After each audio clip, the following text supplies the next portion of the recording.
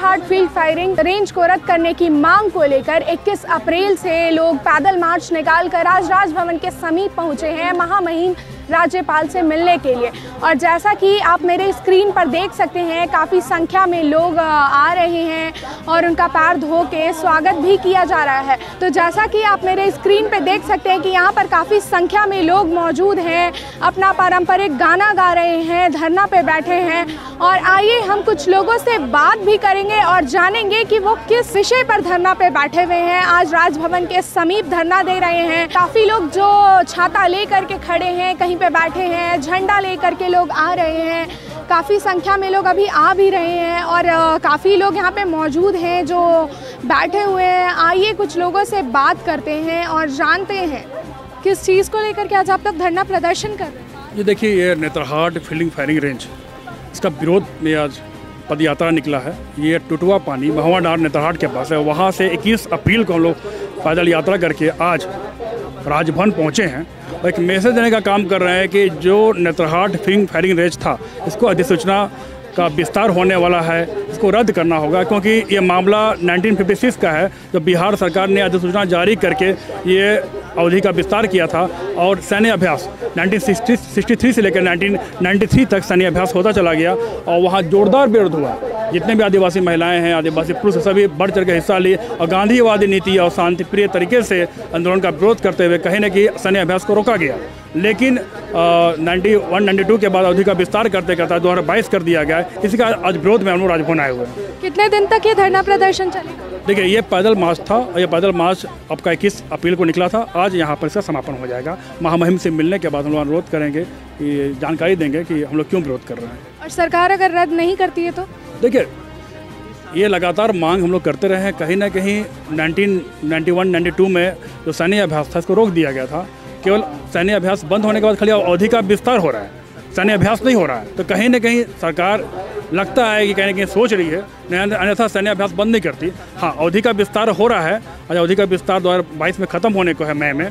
और यदि इक्कीस या ग्यारह बारह मई तक यदि विस्तार नहीं होता है तो स्वतः इसको समाप्त माना जाएगा। लेकिन हम लोग चाहते हैं एक दबाव बनाना चाहते हैं कि हम लोग चाहते हैं कि अवधि का विस्तार ना हो। कितना गाँव प्रभावित? देखिए इस अब ऐसा समझिए वह तीन विधानसभा क्षेत्र जो गुमला विधानसभा क्षेत्र बिशनपुर विधानसभा क्षेत्र मनिका विधान क्षेत्र से सटा हुआ बॉर्डर एरिया है।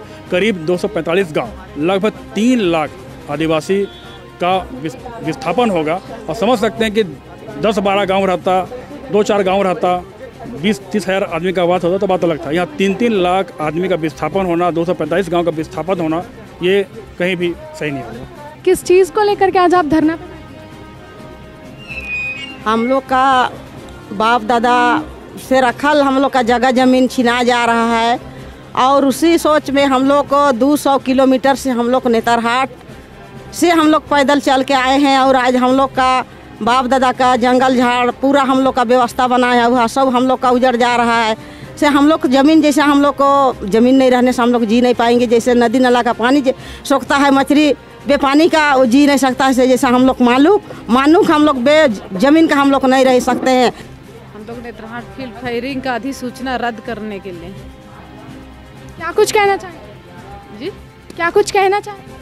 क्या हम लोग जब तिरानबे से ही हम लोग सैनिक की फायरिंग रेंज रोकने के लिए हम लड़ रहे हैं, जो अभी तक अधिसूचना 2022 तक 11 11 मई 2022 तक जो उसका अधिसूचना रद्द करने का ही था तो उसी को हम लोग पूर्ण रूप से रद्द करने के लिए यहाँ पर बैठे हैं ताकि हम लोग अपना जल जंगल ज़मीन को हम लोग बचा सकेंगे अपना अस्तित्व का लड़ाई हम लोग लड़के जीत हासिल करने के लिए हम लोग यहाँ पर। क्या आपको लगता है कि सरकार रद्द करेगी? क्योंकि हमारी आवाज़ सरकार तक जानी चाहिए क्योंकि हम हमारा कलेजा चीर के सरकार देखे और हम हमारा जो आ, क्या बोलते हैं जो हमने आवाज़ उठाई है आवाज़ सरकार के कानून तक पहुँचना चाहिए। तो हम अपनी आवाज़ को पहुँचाने के लिए यहाँ तक आए हैं राजभवन तक।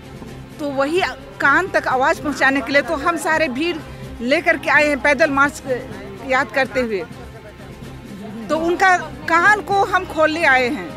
पाँच दिन पाँचवा दिन है आज। बाकी नहीं है? थाके हैं फिर भी छोड़ेंगे नहीं लेके ही रहेंगे। जान देंगे। लेकिन ज़मीन नहीं देंगे। फ़ील्ड फायरिंग का जो 21 में उन्नीस सौ बाईस तक रखा गया था। वो अभी तक थी समाप्त नहीं हुआ है। इसी के खिलाफ में हम लोग राजभवन में थी देने के लाए हैं। कहाँ से आए हैं आप? नेत्रहाट के पास एक टुटुआ पानी कितना किलोमीटर है? यहाँ से एक सौ बहत्तर किलोमीटर है। और कितनी जब आप पैदल मार्च चल करके आए तो आपके कितनी कठिनाइयों का सामना करना पड़ा? एक तो है कि हम जब अपने इलाके में से गुजरे, तब हमने तो तय कर लिया था कि हम लोग पैदल जाएँगे। और ताकि प्रभावित इलाके से हम गुजर करके आए हैं गुमला तक तो वहाँ तक तो हमारे जो प्रभावित इलाके के लोग हैं, जो गाँव है, उस गाँव ने हमारे लिए पानी की व्यवस्था से लेकर के, चना से लेकर के हमें खाना तक खिलाया। लेकिन जैसे ही हम गुमला से आगे गए हम ये उम्मीद कर रहे थे कि हमारा तो यहाँ कोई है नहीं, ताकि वो प्रभावित इलाका भी नहीं होता है। लेकिन जगह जगह पे इस रूट में भी लोगों ने हमारे लिए पानी का व्यवस्था किया, हमारे लिए नाश्ता का व्यवस्था किया, हमारे लिए खाने का व्यवस्था किया, और हर जगह एक सम्मान के साथ हमें सम्मानपूर्वक एक यात्री को या एक पदयात्री को जो देना चाहता है, वो तमाम चीज़ें उन्होंने हमें दी है, और पूरा सुविधा दिया है। हम भले पैदल चलते वक्त धूप में हो हम पैदल ज़रूर चल रहे थे लेकिन जहाँ भी हम जा रहे थे जो भी गाँव मिल रहा था उस गाँव के लोग हमको पानी दे रहे थे और जिसके कारण से हमारा जो उत्साह था और दुगुना बढ़ते जा रहा था। तो आपको किसी भी परिस्थितियों का परिस्थितियों का सामना नहीं करना? नहीं उस तरह का परिस्थितियों का नहीं धूप तो थी। धूप का तो हम झेल ही रहे हैं लेकिन लोगों ने जो प्यार दिखाया उससे जितनी भी परिस्थितियाँ थी जो कष्टदायक थी वो सारा छुमंतर हो गया है। किस चीज़ को लेकर आप धरना पे हैं? एक तो है कि हम 28 साल से सरकार से ये मांग कर रहे हैं कि नेत्रहाट फ़ील्ड फायरिंग रेंज जो है, उसको रद्द करें। लेकिन सरकार ने उस मांग को अभी तक नहीं माना है। और आज विशेष रूप से आने का हमारा उद्देश्य है कि उन्नीस सौ निन्यानवे में एकीकृत बिहार के समय में जो अधिसूचना जारी हुई थी, जिसकी अवधि 2022 तक है 11 मई 2022 तक। अभी 11 मई 2022 आने में चंद दिन बाकी हैं। हमारा ये मानना है कि सरकार इसके बाद अवधि विस्तार ना करे, साथ ही साथ वो नेतरहाट फ़ील्ड फायरिंग रेंज को ही सदा के लिए रद्द करे।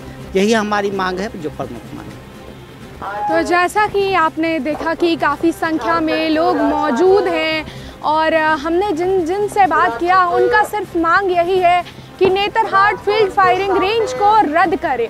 और, कितनी दूर से लोग पैदल चल करके आए हैं और, किसी का कहना है परिस्थितियों का सामना करना पड़ा है, लेकिन उतना नहीं, सिर्फ़ धूप का और इतनी गर्मी में पैदल चल के आना पड़ा है। खाना पीना से लेकर किसी चीज़ की इन्हें कोई दिक्कत नहीं हुई है। और ऐसे ही तमाम खबरों के लिए जुड़े रहे जीएन भारत के साथ। धन्यवाद। अपने राज्य से जुड़ी हर ताज़ा खबरों के लिए आप हमें सब्सक्राइब करें, साथ ही बेल आइकन बटन दबाना ना भूलें।